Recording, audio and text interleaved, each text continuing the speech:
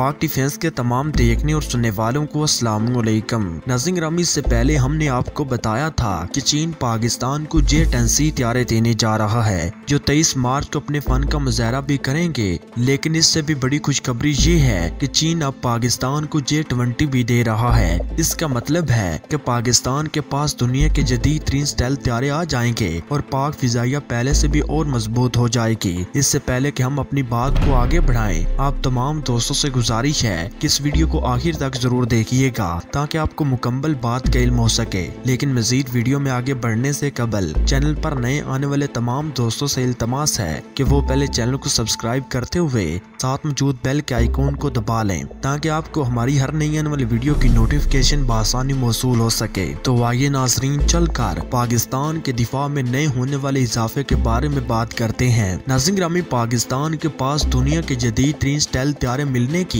खबर से दुश्मन मुल्क भारत की चीखें आसमान तक जा पहुँची। इसके सारे मंसूबे खाक में मिल गए। इसने जो एस फोर रूस से खरीदा और राफेल त्यारे फ्रांस से खरीदे, इसके सब बेकार हो गए हैं। प्यारे दोस्तों, इसके साथ साथ भारत ने चीन के साथ पंगा लेने के लिए नेवी में क्या किया है, इसके बारे में आगे चलकर बताएँगे। चीन और पाकिस्तान मिलकर क्या करने जा रहे हैं, इस पर भी बात होगी। इसलिए कि वीडियो को आखिर तक ज़रूर देखें, ताकि कोई बात रह न जाए। नजिंग रमी पाकिस्तान जो भी दिफाई जरूरियात के लिए हथियार खरीदता है, इसके पीछे आम मकसद ये होता है कि भारत को आगे नहीं बढ़ने देना। और इसके मुकाबले के हथियार खरीदने हैं। ये बात हमारे दिफा के लिए भी ज़रूरी है और दुश्मन का मुँह बंद करने के लिए भी ज़रूरी है। जब तक भारत को ये पता नहीं चलता कि पाकिस्तान के पास कौन कौन से हथियार इस, इसके मुकाबले के लिए आगे आएँगे इसकी ज़ुबान अंदर नहीं जाती और पाकिस्तान को धमकियाँ देता रहता है। लेकिन जब ये पता चलता है कि पाकिस्तान ने इसका तोड़ निकाल लिया है तो फिर इसकी घुकी बंद हो जाती है। जब भारत ने एस फोर हंड्रेड खरीदा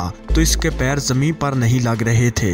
लेकिन जब पाकिस्तान ने ऐसा क्रूज मिसाइल बना लिया जो इसको नकारा कर सकता है तो भारत की चीखें निकल गई अब चीन की टेक्नोलॉजी इतनी एडवांस हो चुकी है कि वो अमेरिका को भी आँख दिखाता है और अमेरिका को भी कहता है कि आग से मत खेलो। इसके साथ साथ चीन पाकिस्तान के लिए भी कुछ कर रहा है, जो भारत के वहमो गुमान में भी नहीं है। चीन ने टेक्नोलॉजी में वो तरक्की की है कि मगर भी मालिक सोच भी नहीं सकते और अमेरिका भी शस्त्रों परेशान है। है तो इसके मुकाबले में भारत क्या हैसियत रखता है कि वो चीन की तरफ़ या पाकिस्तान की तरफ़ मैली आँख से देखे? अभी ये खबर ब्रेक हुई थी कि पाकिस्तान ने चीन के साथ जेट एंड सी की डील कर ली है तो भारत और इसराइल की चीखें निकल गई और इसराइल ने तो ये तक कह दिया कि चीन ने हमारी ही टेक्नोलॉजी का इस्तेमाल करके ये हथियारा बनाया है, इसलिए हमें इससे कोई खतरा नहीं है। लेकिन ऐसा बयान देना ये ज़ाहिर कर रहा है कि ये सिर्फ़ दिखावे का बयान है। अंदर से इसराइल डरा हुआ है कि पाकिस्तान के पास ये टेंसी सी आ गया तो इसराइल के खिलाफ इस्तेमाल होगा।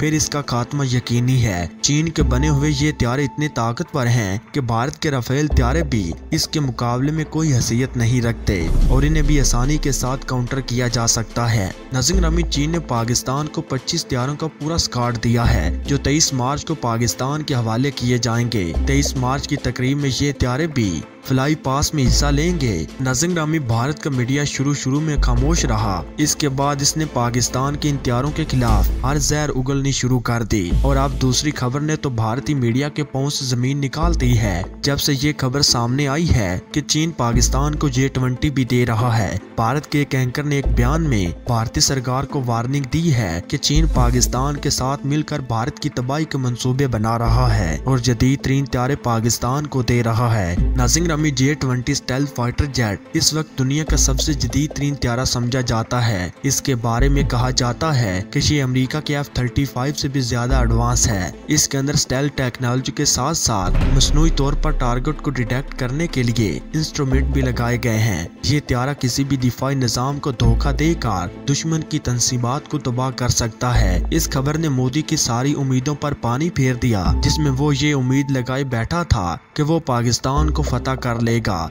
ये ख्वाब इसका दीवाने का ख्वाब साबित हुआ और इसके सारे मंसूबे धरे के धरे रह गए हैं। प्यारे दोस्तों, दूसरी तरफ़ खबर ये है कि भारत ने अपनी नेवी में भी राफेल त्यारे शामिल कर लिए हैं। इसकी वजह से भारत ने असल में चीन को मैसेज दिया है कि इसकी बैरियर बहुत मज़बूत हो गई है और भारत ने जंगी तैयारियाँ मुकम्मल कर ली हैं और अब भारत चीन से भी टकराने की ताकत रखता है। लेकिन जब से पाकिस्तान को जे ट्वेंटी मिलने की खबर सामने आई है तो मोदी सरकार की भी हवा निकल गई है और इन्हें समझ नहीं आ रही कि चीन पाकिस्तान के साथ मिलकर भारत का किस तरह कचुम्बर निकालने की कोशिश कर रहा है। दूसरे, भारत भी रूस से इसके त्यारे खरीदने की कोशिश कर रहा है, लेकिन रूस ताहल इस तरफ़ नहीं आ रहा और भारत को ये त्यारे देने के लिए तैयार नहीं है। हमने पहले भी एक खबर में बताया था कि चीन ने भारत की LAC पर रिबोट आर्मी तैनात करके भारत को अपनी डाल दे दी है और इसकी फौज घबराहट का शिकार हो चुकी है। इन रिपोर्टों के पास जदीद तीन मशीन गन है, जिसकी वजह से वो किसी भी फौज को ठिकाने लगा सकते हैं। लेकिन बात यह है कि अगर भारतीय फौज जवाबी कार्रवाई भी करती है तो वो रिपोर्ट को ही मार सकते हैं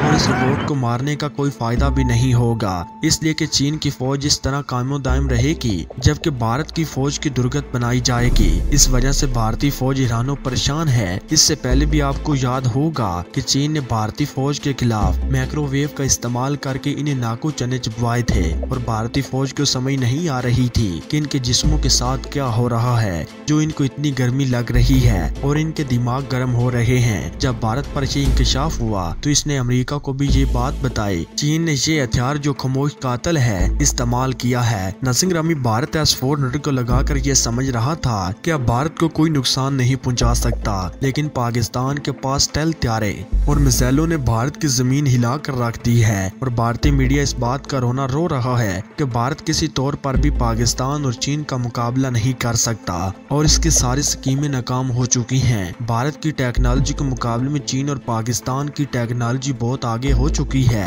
इससे पहले भी भारत ने सताईस फरवरी को आजमा लिया था कि पाकिस्तान ने इनके रेडार को जैम कर दिया था और अभिनंदन को गिरफ़्तार कर लिया था। Bye. जब भारत ने राफेल त्यारे खरीदे थे, उस वक्त भी पाकिस्तान ने भारत से कहा था कि एक बार इन त्यारों को भी आजमा लो।